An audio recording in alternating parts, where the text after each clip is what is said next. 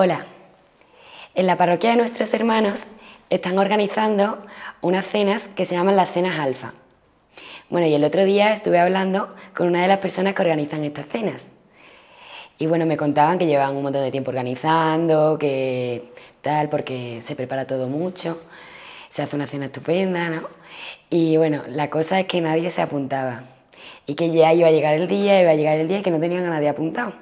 Bueno, esta persona ya me contaba que estaban un poco pensando, bueno, pues si no cenamos nosotros, ya ver, pero seguían trabajando en ello, ¿no? Pues resulta que nada, dos días antes de que se hiciera la cena, poquísimo tiempo, eh, se apuntaron muchísimas personas, tantas que tuvieron que poner hasta otra mesa más para que comieran. ¿Y qué quiero deciros con esto? Pues que muchas veces cuando trabajamos para el Señor hacemos, hacemos lo que parece que nos inspira, ¿no? Pero no vemos frutos, parece que nada sirve y así va pasando el tiempo.